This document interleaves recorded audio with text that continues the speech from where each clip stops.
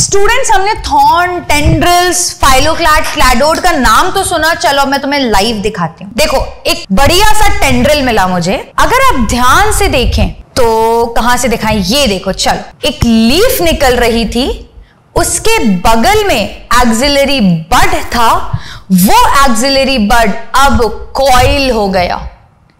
और इस coiled axillary बड को ही हम टेंड्रिल्स कहते हैं।